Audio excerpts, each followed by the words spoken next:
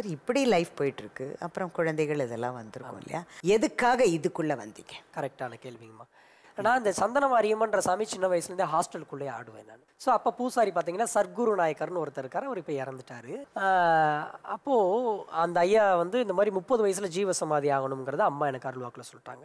அப்போ எனக்கு இருபத்தஞ்சு வருஷம்னா இன்னும் அஞ்சு வருஷம் தானே இருக்குது பட் எனக்கு ஃபேமிலி குழந்தைங்கள்லாம் இருக்குது அவங்க இப்போ தான் மூணு வயசு ஒன்று ரெண்டு வயசு ஒன்று பதினஞ்சு நாள் ஒன்று பேபி ஐயாட்ட இந்த மாதிரி முப்பது வயசுல ஜீவ சமாதி ஆகணும் அதுவும் இந்த ஊரில் தான் ஆகணுன்றது அம்மா அருள்வாக்கில் சொல்லியிருப்பாங்க போல. இப்போ குழந்தைகள்லாம் இன்னும் கொஞ்சம் நம்ம ஒரு பத்து பதினஞ்சு வயசு வரைக்கும் வளர்த்து விட்டா கூட தெரியாது இல்லையா? அந்த பாவத்தை நம்ம சம்பாதிக்க கூடாது. ஸோ அதனால கொஞ்சம் தள்ளி போடுறாங்க. பட் ஆன்மீகத்துக்குள்ளே தான் இருக்கேன். ஆனால் நான் நல்ல லக்ஸுரியான ஒரு லைஃப்பை வாழ்கிறேன் காரு வீடு பைக்கு பைக்கெல்லாம் பார்த்தீங்கன்னா இன்னைக்கு ஒரு பைக் இறங்குதுன்னா உடனே வாங்கிடுவேன் பைக்கை ஓட்ட மாட்டேன். ஷோகேஸ்க்கு வீட்டுக்கு நிப்பாட்டிடுவேன் ஒரு பதிமூணு பைக் நிப்பாட்டுங்க.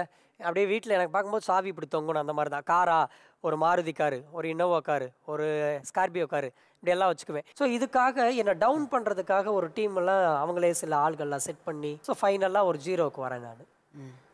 ஜீரோவுக்கு வரும் பொழுது பாம்பே கிளம்புறேன் நான். இப்போ தான் அகோரி வாழ்க்கை ஸ்டார்ட் ஆக போகுது.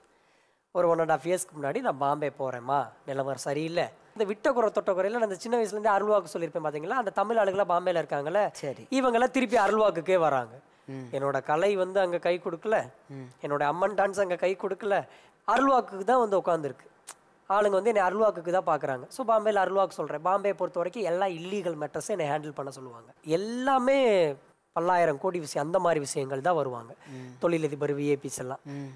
இது எனக்கு வேலைக்கு ஆகாதுன்னு தெரிஞ்சிருச்சு. ஸோ நான் அங்கேருந்து கிளம்பி ரிட்டர்ன் நம்ம கோயம்புத்தூருக்கே போயிடலாம் அப்படின்னு சொல்லிட்டு கிளம்பு நான் இருக்கும் பொழுது பாந்த்ரான்னு ஒரு ஸ்டேஷனில் நிற்கிறேன் ஸோ அப்போ ஒரு கிண்ணாரம் அப்படின்னு அது கிண்ணாரம்ன்றது காசி போனதுக்கு அப்புறம் தான் தெரிஞ்சு ஒரு ஒரு பிச்சைக்கார ரூபத்தில் ஒருத்தர் வராரு ஒரு ஒன் ஓ கிளாக் நைட்டு லக்கேஜோட நிற்கிறேன் நாங்கள் அவர் வந்துட்டு ஹிந்திலே பேசி திட்டுறாரு.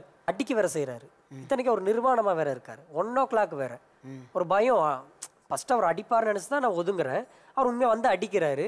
அடிச்சுட்டு நான் உன்னை என்ன சொன்னேனோ அதை செய்ய போ அப்படின்னு சொல்லிட்டு காசி மேய்ச்சாலோ அப்படின்னு சொல்லி கா ஹிந்திலே சொல்கிறாரு சொல்லிட்டு தலையில் கை வைக்கிறாரு. ஸோ அவர் தலையில் கை வைக்கும் பொழுது அந்த வைப்ரேட்டை வந்து நான் உணர்றேன் நான். ஏன்னா வகுத்துல பையன் நிற்கிறான் மூணாவது வாரிசு வரப்போகுது. ஆம்பளை பையன் கணிச்சாச்சு. நீங்க கிளம்புறப்ப அவங்க கர்ப்பமா இருக்கா ஆமா வம்சம் விருத்தி ஆகுது. அவரு கை வைக்கும் பொழுது.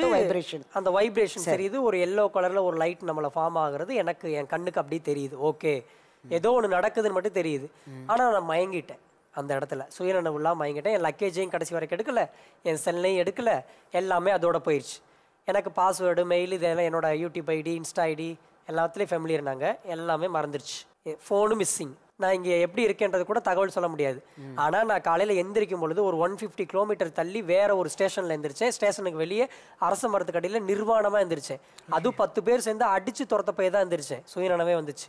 அங்கேருந்து தமிழ் ஆளுங்கிட்ட காசை வாங்கிட்டு காசி கிளம்பி போயாச்சு. ஃப்ளைட்டில் போகிறேன் துண்டு கட்டிட்டு தான் போனேன். எந்த ஸ்டேஷன்ல விழுந்திருந்தீங்க? அது அது எனக்கு ஃபர்ஸ்ட் எனக்கு மகாராஷ்டிராவன்றதே தெரியலை எனக்கு. பட் நான் அமௌண்ட்லாம் கலெக்ட் பண்ணி எப்படியோ ஃப்ளைட்டில் காசி இறங்கி டாக்ஸி பிடிக்கிறேன் அந்த டாக்ஸியில் பார்த்தீங்கன்னா நான் இங்கே பார்த்த ஆளோடைய ஃபோட்டோ அந்த காருக்குள்ளே தொங்கும் பார்த்தீங்களா விநாயகர் ஃபோட்டோ முருகன் ஃபோட்டோ அது மாதிரி தொங்குது. எனக்கு பகீர்னு வாரி போட்டுருச்சு. என்ன என்ன இவரை நம்ம அங்கே பார்த்தோம்? இவர் என்ன இவரோட இல்ல இது ஒரே ஒரு விஷயம். இதெல்லாம் உண்மைதானே உங்களுக்கு கற்பனையில தோணுச்சு